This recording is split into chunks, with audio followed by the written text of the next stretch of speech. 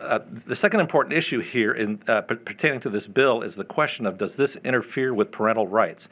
I've had uh, un- the unfortunate duty of having to testify in the care of a, an adolescent girl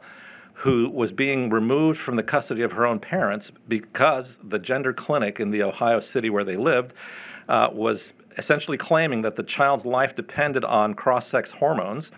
and the court was stepping in to take custody of the child away from the parents. So it's an illusion to think that uh, that parental rights are being interfered with by a law that prohibits the application of these medications to to adolescent children.